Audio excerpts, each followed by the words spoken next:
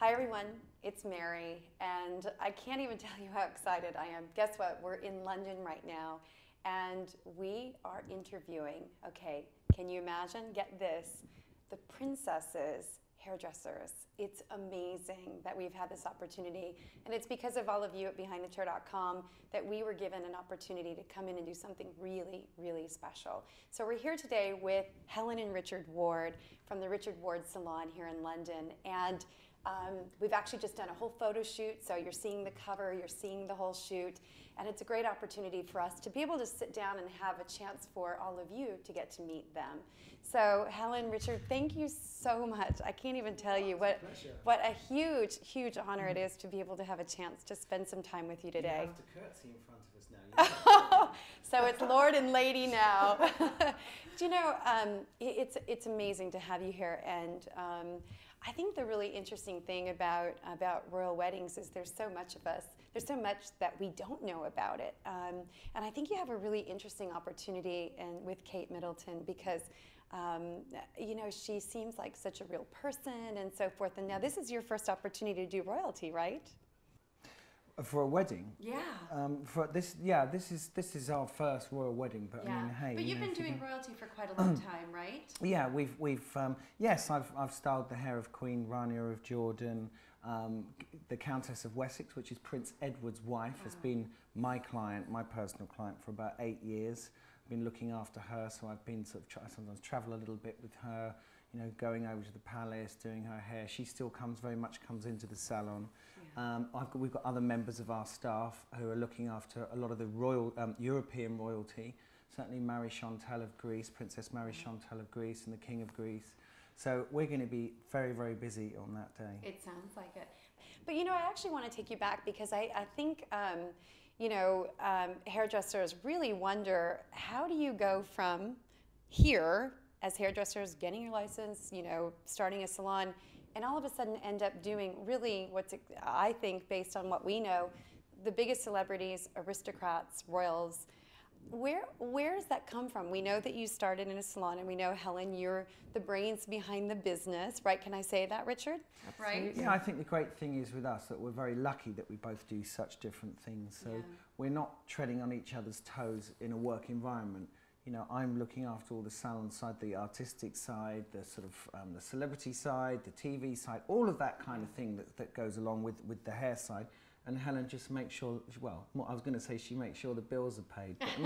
But I make sure well, that all the, the maths adds She up. cracks the whip. Clearly you do an amazing job in the education that you have in the salon. And that's not easy to do and to actually be able you know, to take that sort of service. And I'd love to actually talk about that for a second is how do you create such a consistent service and make all of us feel like royalty when we're walking in the door? We sort of aim for trying to uh, give all of our clients 8 out of 10 experience 10 out of 10 times. Yeah. You know, and I think that that really is the key for us. We, you know, it's no good being four out of 10 one time, 10 out of 10 the next. You need to aim at that consistency so the client knows what to expect. Um, and being consistent is the hardest thing. It is. You know, it's I really tough to deliver. I think, of course, I would say it goes without saying that ultimately people are coming in to get their haircut, so they want a decent haircut. They want a good haircut. But there are plenty and plenty of places, not just in London, but all over the world and all over the country, that you can get good haircuts. So what we're trying to create is something a little bit more than that. Right. You know, the I would experience. say it's the experience, it's being looked after, it's making people feel that they're not just coming back for a good haircut, they're coming back because they really want to come back, because they love being there, because they're getting something a bit different, because they're seeing the same staff every time that they come in there. Every, you know, when they're phoning up booking an appointment, you know, they're not constantly told that someone's moved on, someone's left you know, we all know that there's a Sassoon camp and there's a Leonard camp, right, in London. Yeah. You came from the Leonard camp. How would you describe the difference between the two? Well, Sassoon, you have the Sassoon, the Sassoon structure, which is probably sort of very sort of geometric, sort of a little bit sort of very, very cutting, cutting orientated. Um, all the focus, I would say, ultimately is on the, the haircuts. The Leonard side is, I would say, a little bit more of the glamorous side it's a little bit more the society side, the celebrity side. It's dressing hair. I mean, equally, you know, I'd love to, you know, our hair, hairdressers do just as good as cut as anybody. But um, yeah, I would say it's it's a little bit more, maybe a little bit more upmarket, a little bit more expensive. Um, you've got people like I know in America, so someone like John Frieda, for example, would have come down from the Leonard side. Um, salons like Michael John, the colorist salon Daniel Galvin, um, other big names in London, Daniel Hersheson, they are all coming down through the, um, the, Leonard, the Leonard side. Whereas some people in America might know Trevor Sorbie, for example, he would be on, yeah, he would be on the, the uh, Sassoon side. Yeah. So tell me how you got started. Tell me about the salons and sort of the prog- progression of all of the salons. We met when we were about tw 24, 25. And cutting a very long story short, we, we took over a bankrupt salon called Neville Daniel, which was just behind Harrods. And I'm sure all your viewers and at home will, will know that that's one landmark that most people Yeah. know. So our salon that we took over was, was uh, just behind Harrods. It was losing £4,000 a week in 1992. And Helen and I, um, I was working there, it had gone bust. Helen came in to run it, cutting a long story short, really um, through the receivers. And basically, it went bust again. And we bought it. We bought it when it had got, well, it had virtually gone bust twice, hadn't it? Yeah. And it was losing £4,000 a week, and that's really when we started. And we bought it for £50,000 mm. in 1992. Now, that doesn't sound an awful lot of money to pay for a, for a salon these But you days. had all the losses you had to deal with. Absolutely, absolutely, we had all the losses to deal with, and at the end of the day, it, fifty thousand pounds was everything and more than what we had. So it We were was only ev- it was, it was 25, 25, yeah.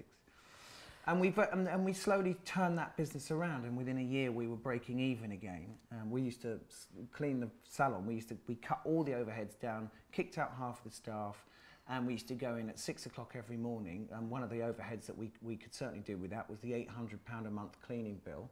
Yeah. Um, and we used to clean that salon from top to bottom. We Years, always sort we? of thought that we, when, when we met, I mean, I'd come from a very corporate background, so I was very much percentages, my payroll percentages, my stock costs, you know. And here was this creative mayhem going on, you know. And I always thought, I think we sort of knew right from the bat that if we put my brain together with his hands, we could make something pretty fantastic, which is what we tried to do. Um, but you know, it, it took a long time to, to sort of because these things have to take time to gel. We had to, when we say we, we, we, we sort of culled half the workforce, that's because half of them, you know, weren't, weren't doing, they, a lot of them were self-employed. They were just doing a few clients a week each. So we had to make a very tight team and get, make sure the tight team was all booked up and then they earned Mm. more money and then we built very, very slowly like that. So we had a very, very tight I core think- team. I think in those days, a lot of salons were run with, you know, it was it, the, a lot of uh, salon owners, um, sort of the back end of the 80s, thought it was okay to have a staff room full of staff doing two clients a day. So it's better to have 20, a staff room full of 20 people doing two clients a day rather than having a staff room full of no people busy all day. Do you see what I mean? and is, I think because they just thought they'd rather have they'd rather big have te- yeah, uh, uh, um, a, a big group um, because some, because what happened with that kind of culture I think that they were constantly poaching hairdressers so you know for example they'd say to a hairdresser oh can you cut, would you like to come and work for me I'll give you 70% of your commission um, and they'd only turn up with about 20 clients so they'd rather have those 20 clients and make 30% out of it Yeah. do you know what I mean Yeah, exactly. Which is, you know, totally not the school that I'd come from, which was, you know, everybody had to be really, really maxed out. And then they earned very well. And then if they earned well, they stayed with you. And a busy So- a busy salon is a happy salon Absolutely. Yeah. An empty staff room is a is happy, a happy salon. salon, definitely. Absolutely right. Yeah. And um, and I'm- and I think I think also um, to be fair, in a lot of these businesses, this business that that went bust that we were working for was a hugely successful salon in the 80s. And I think it was a, a, a lot of businesses really boomed in the 80s. But mm. I think that a lot of the salon owners and owners of other businesses, didn't matter what businesses it, what you, you were in, people didn't know how to manage that money. And they thought, well, spend it, spend it, spend it. We'll live the high life and it'll be there forever. But of Like the it's film not. Wall Street, isn't it? It's that Yeah. greed Yeah. is good. You know, Yeah. it's that sort of time as well. Yeah, so it it was, very much It was So, and, and extravagant. I think, I think particularly for hairdressers, you know, it, there was a time when just having a busy clientele and being a wonderful hairdresser was enough to open a salon. We all know now, and certainly in this country, and Helen travels hundreds and hundreds of miles all, on, all around the country teaching hairdressers how to run their businesses because we all realise that just doing good haircuts ain't enough to keep your business open. It's just not. I talk a lot about trying to explain to salons what their brand really means. And I said, Starbucks, you know, it costs 25 cents to brew a cup of coffee, but it costs $4. Your brand is the other 375. It's the experience that's really created. But it's interesting it. though, because quite a lot has changed, I think. I don't think really um, we set out to create a brand. I think our brand has actually just grown as we've grown over time. And I think now, if we were going to start up, you would put together a brand plan. You, you would say, this is what our brand's going to be, this is what our logo is going to be, this is what our signage is going to look like, this is who our client, you know, our client base is. is. You know, we didn't have any clue about that. We just, our brand, you know, I think it was only about a year ago that we actually sat there and said to each other, "Hey, we've got a brand." Yeah. you know, uh, we don't think of our, we didn't think of ourselves in that way, which they say it takes 10 years to build a brand, and I, I believe that's true. If it, it's going to come from the heart. I know that originally uh, the salon that you bought wasn't your name.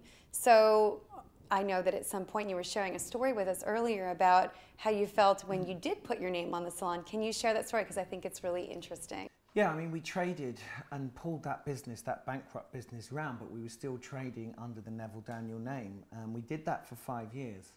And it was just um, so, sometimes things your hands are forced in life and, and, and our lease was expiring. And cutting a very long story short we, we, we had to move. So we found a new salon on Sloane Street but was actually 2,000 square feet less than what we were leaving.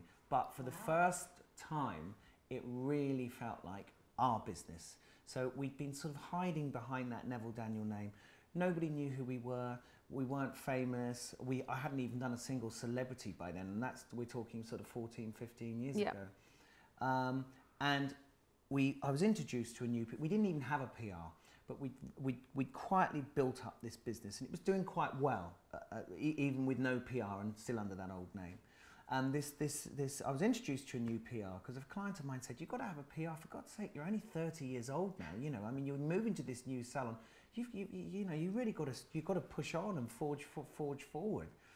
Um, anyway, I met this, this woman and we, um, and we took her on. And I, I do believe that sometimes in life that you, you, you do get a little bit of luck that sort of, you know, that, that comes from somewhere. And the luck that we had was she was a very dynamic PR who was very much at the early stages of her career, but she had a lot of contacts, so she was very much on the up. She said to me is that you have to change your name. You're 30 years old, you're both a dynamic couple, you've got this really good business going, but nobody knows who the hell you are. You've got to stick your name above the door, and I can really seriously PR you. And when she told me that, I just thought, oh, I, I hadn't even thought for a minute that I would want to have my name above the door. It wasn't something I really strove for. I think it was a very it was a very difficult time because also, you know, when your name's above the door, you've got to step up to the plate, right? There's nowhere to mm. hide. And I think for you, that felt yeah, I was quite quite daunting. Just, yeah, wasn't quite it? happy sort of snipping away doing my clients. I thought, well, suddenly, you know, she's going to be asked, pushing me out to do stuff, to start doing photographic shoots. You know, how, what was I going to be like if I uh, in interviews? What was I could, could I even do TV work? Could I do if I was lucky enough to get those opportunities? How would I be? Suddenly, I had a celebrity sitting in my chair. Am I going to go to pieces? Am I going to be all starstruck? You know, this was all a whole new environment for me.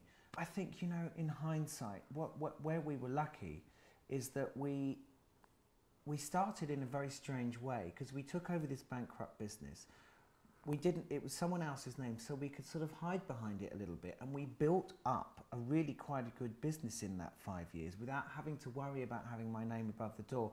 And when we suddenly had a little bit of money to throw around and invest in PRs, and maybe I was start, I was 30 then, I was a little bit more confident, and we, you know, the, the, the, the, the, the wolves, the, you know, the financial wolves were sort of, you know, not barking at the, at the salon door, you know.